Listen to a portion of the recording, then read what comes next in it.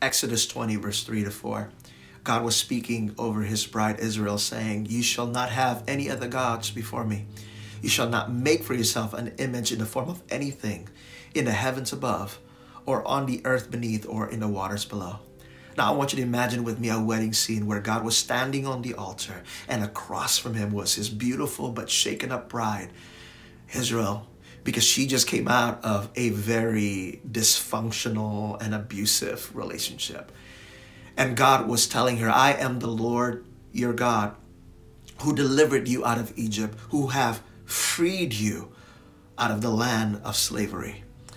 And he's saying, I am your Redeemer. And he is saying that I am the one who freed you. I am the one who truly loves you. And I've pursued you from the beginning. I wanted you to know that I have called you to be holy as I am holy, separated unto one another. That we are going to have this precious relationship, exclusive relationship. It is a relationship between a husband and a wife, between a God and his people and his church. And of course, later on, it'll be fulfilled in the day of Pentecost when the church finally says, I do. and can I tell you, the culmination of it will be when Jesus returns the second time.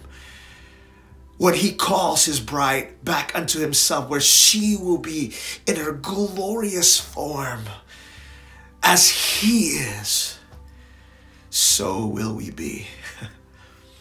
But until that time, God is awakening his bride to her identity.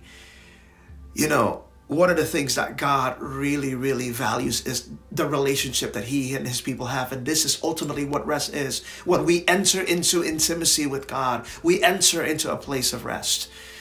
And the one thing that God hates more than anything is disconnection, it is separation, it is death, and it is this word divorce. In the book of Malachi, chapter 2, verse 13 to 16, God was addressing his people uh, as they were struggling with this ideology of divorce. And here's what God says Here's another thing you do you cover the Lord's altar with tears, weeping, and groaning because he pays no attention to your offerings and doesn't accept them with pleasure.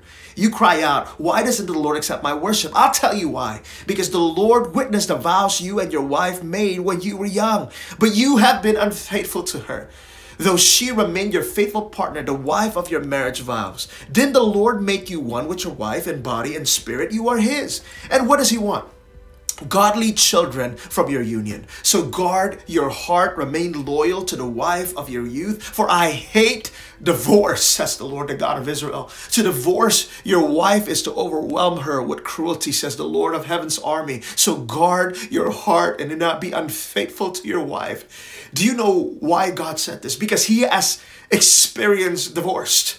He experienced it in the Garden of Eden when Adam and Eve and humanity chooses to turn our back on God and choose to commit adultery or idolatry, which is a form of spiritual adultery.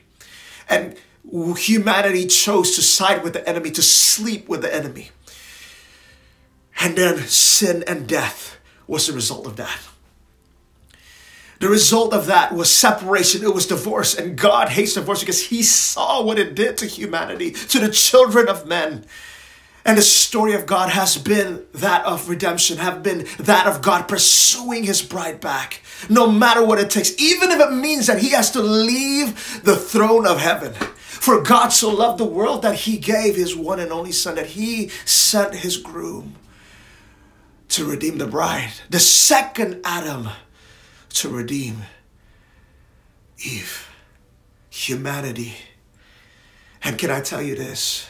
In the book of Ezekiel, chapter 36, verse 25, until 27, God says, I will sprinkle clean water on you and you will be clean. I will cleanse you from all your impurities and from all your idols. I will give you a new heart and put a new spirit in you. I will remove from you your heart of stone and give you a heart of flesh. And I will put my spirit in you and move you to follow my decrees and be careful to keep my laws because the spirit of God is like that wedding ring that you cannot take off.